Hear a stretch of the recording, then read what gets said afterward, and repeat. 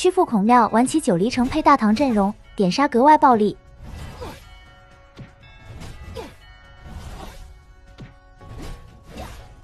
一把六连击，外加大唐平砍，还飘了一把漫天，直接带走。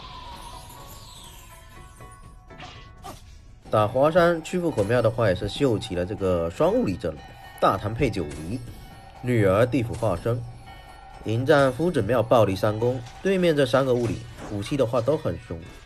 等会我们来看一下，这场关南方是拿到一速，物理速度也比对面快。那这样的话，我们来看一下关南方先点谁。要么先把队长给他点了。女儿分地府中，不让你挂小手啊。上海小牛局转化身了吗？还是说玩了一个新的化身啊？他之前的话是斯托里。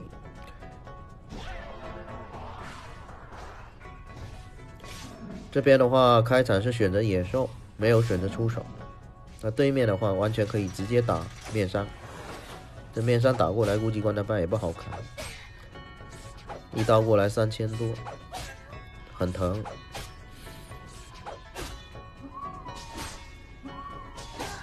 一回合关他班估计都得残。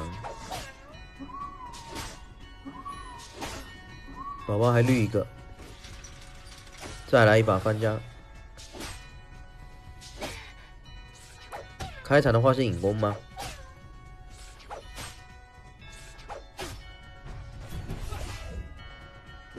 引弓啊，那这样的话，关他班九离城倒地。哎，他的武器是神佑吗？居然没有倒。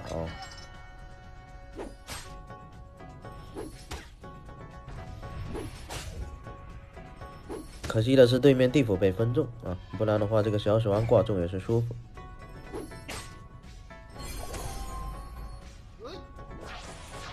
笑里藏刀，笑关南方的化身。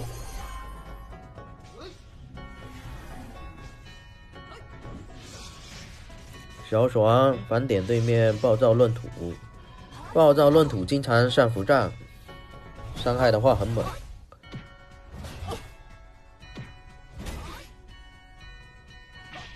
再来一把破碎，应该没蓝了吧？哇，两刀关东翻大弹没了呀！这你能想得到？他弹了一把幺六三，伤害爆炸。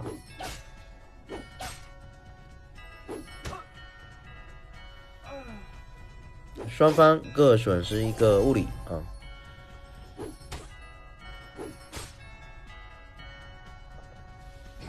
女儿晶晶回血，增加抗风。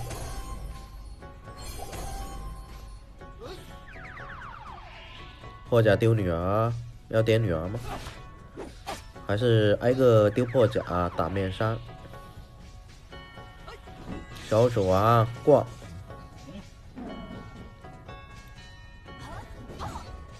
有可能这个凌波城就要没了。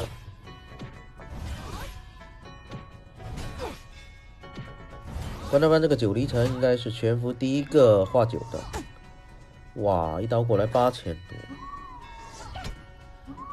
拉了野兽之后，这伤害有点猛。但是对面有个问题，两个物理倒地，没输出了。是托林的话，飞完之后还得停止一回合。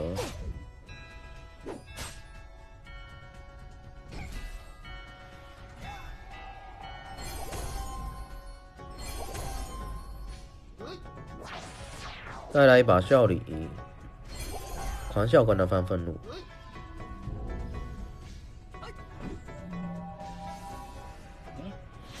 他这个小手啊，应该是点的关他翻九黎城挂的啊。但是关大帆没拉，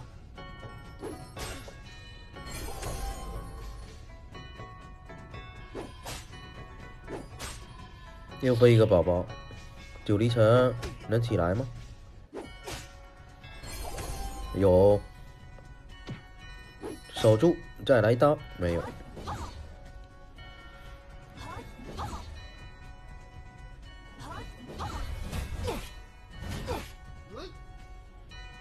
慈心溪，暴躁乱土可以起来了。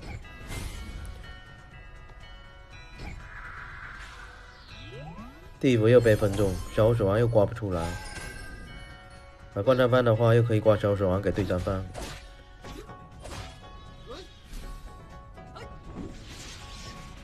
乱土的话又中了，完蛋，又倒地。这不可能幺六三弹那么多了。九力城这个门派破幺六三是相当的好用啊。他两刀也是把观战方摁倒，但是没有小鼠啊，对于观战方来说毫无影响。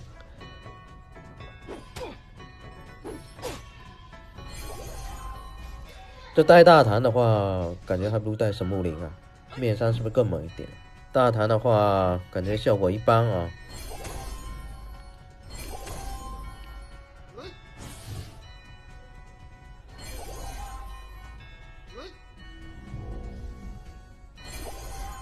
叠拉大弹，小爽，挂女儿，连环击吗？那观战方是选择挂大弹，平砍一刀，有没慢贴？没有，连环切。这个伤害的话也高，看一下观战方贴的情况，有可能点杀就失败了。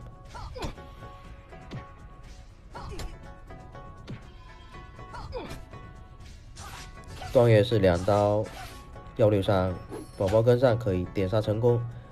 这没有医术来控对战方小手王的话，可能对面还会比较好打一点啊。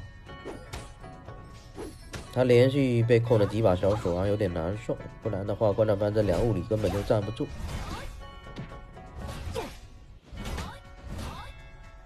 完蛋，是托林倒地。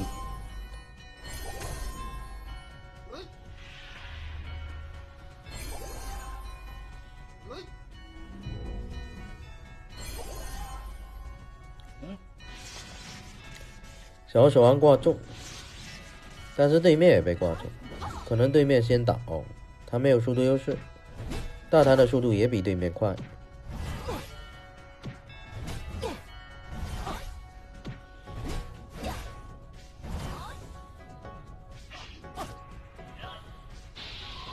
平砍一刀，还飘了一把漫天，那这样的话，凌波城也没了，就剩化身跟地府，没有输出有啥用呢？只能站着看，对吧？女儿起来喝了一把酒，选择诅咒之山点化身。我以为他会晶晶啊，对面宝宝是点着逃跑，那这样的话是直接投降了啊。好了，今天我们视频就讲到这里。